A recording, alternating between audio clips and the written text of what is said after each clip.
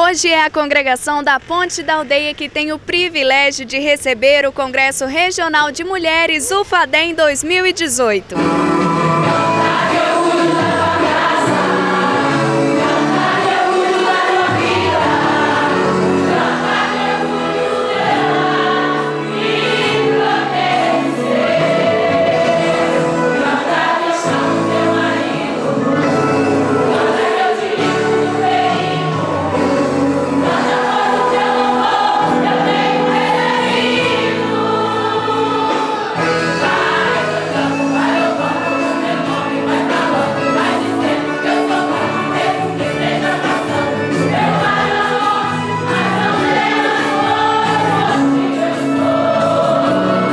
Selma, como representante do Círculo de Oração local, qual a mensagem a senhora deixa para as famílias na noite de hoje? É, o nosso trabalho ele tem sido uma bênção e nós aproveitamos esse espaço para te convidar também para você aproveitar, né?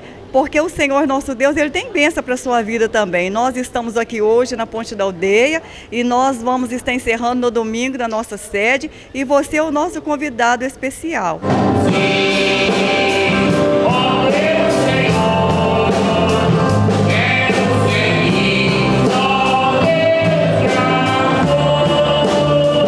Pastor Jorge, desde o início do Congresso, o senhor tem acompanhado e passado pelas congregações e visto o empenho de todos os obreiros para receber o Congresso em suas igrejas. O que o senhor tem a dizer sobre a dedicação destes obreiros em receber a UFADEM 2018? Caros amigos técnicos da Alfavip, né, nosso amigo irmão Moisés, irmã Carol, que Deus continue abençoando e guardando vocês, pela cobertura que vocês têm feito. Coisa linda e maravilhosa. Nós podemos ver o acompanhamento dos obreiros é, no campo. Nós tivemos sábado e domingo em Manhumirim. O pastor foi muito caprichoso ali, nos recebeu muito bem, teve um esforço muito grande. Tivemos em Alto Jequitibá também.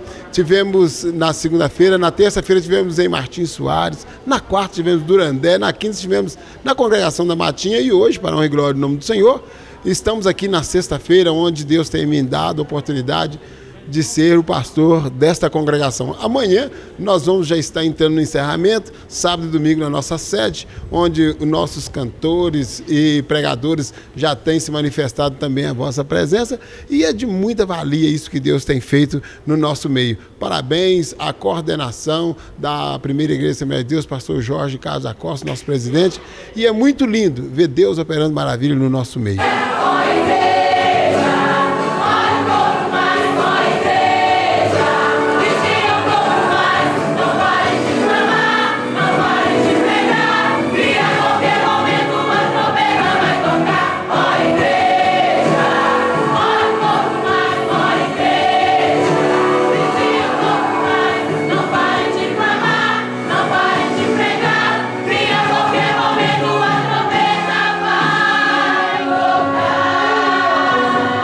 Pastor Arley Pires, como foi ministrar a palavra do Senhor nesses três dias de festividade do Congresso da UFADEM 2018?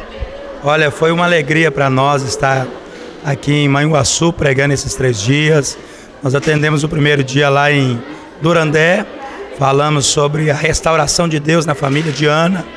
Ontem estivemos lá na Matina e falamos sobre a restauração também do Senhor na família da viúva ali, a Sunamita.